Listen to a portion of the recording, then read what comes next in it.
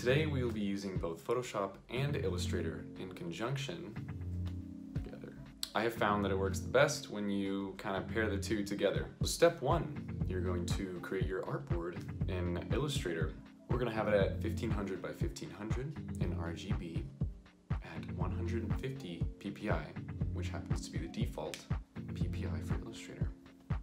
Step two, you're going to create your object, whatever you want to texturize. That could be something you've already made. Um, for this video, I'm going to create a simple C with a registered mark and the year 2020. It's going to be great. I'd like to take this section of the video to explain that you can do this effect solely in Photoshop and Illustrator, but I don't think it's going to look as good as if you had used both of them together. Step three, open up Photoshop, create the exact same sized artboard in Photoshop. Resolution wise, 120 is gonna be okay. Copy and paste your object from Illustrator into Photoshop. You got it, nice. Now what you need to do, you need to rasterize it.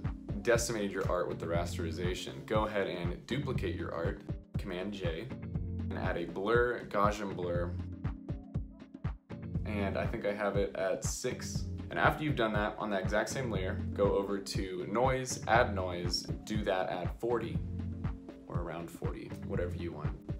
The next step is optional. Um, I play with the blend modes all the time because they're the best thing ever in Photoshop.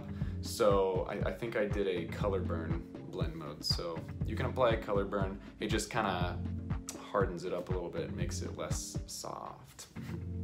Once you have all those layers together, you're gonna go ahead and click all of your layers and drag it back into your Illustrator artboard.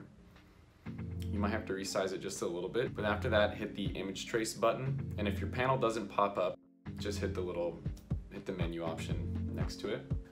Play around with the threshold and paths option. Um, that combined with noise at the very bottom is gonna be your best bet.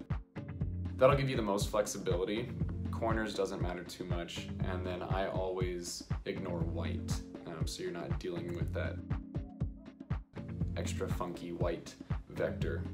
Yeah, that's really it.